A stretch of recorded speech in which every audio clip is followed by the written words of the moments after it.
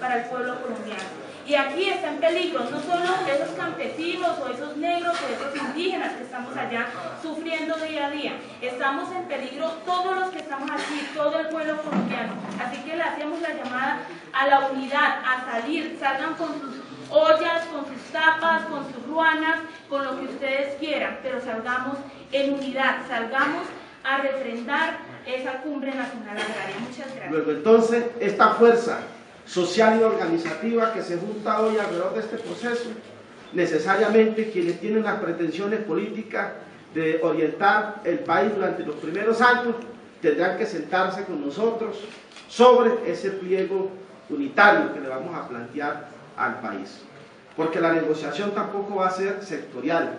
La exigibilidad y los planteamientos que vamos a hacer, fruto del consenso político y del consenso plural que existe aquí en esta mesa, es un solo planteamiento que apunta a los temas estructurales. De lo contrario, vamos a seguir yéndonos por la rama y ese es uno de los grandes retos que nos convocan en esta cumbre eh, popular, campesina y étnica que vamos a realizar durante, durante sábado, domingo y lunes aquí en la ciudad de Bogotá. Por ello entonces, el lunes estaríamos refrendando esos propósitos comunes y quisiéramos que los amigos y las amigas, los compañeros y las compañeras, sobre todo de aquí de las localidades de Bogotá, se vinieran, se vinieran a la Plaza de Bolívar, ¿sí?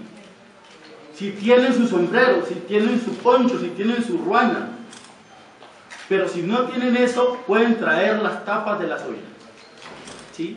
Porque desde las regiones traemos los canaletes. ¿sí? Desde las regiones traemos la patea.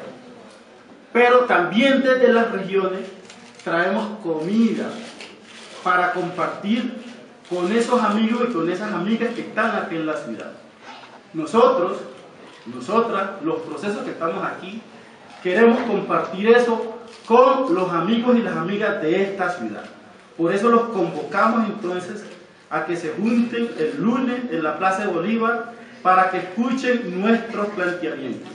El recorrido se dará entonces desde el Coliseo Cubierto del Campín, que saldremos aproximadamente desde las 12 del día para llegar a la Plaza de Bolívar a las 2 y ahí manifestar eso que hemos venido construyendo, repito, desde las 21 cumbres regionales y que refrendaremos estos dos últimos.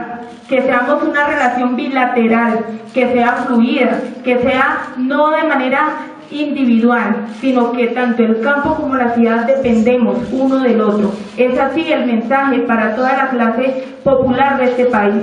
Es la hora de nosotros, es la hora de unirnos, es la hora de lograr y dar un paso grande hacia el frente, no hacia atrás. Muchas gracias.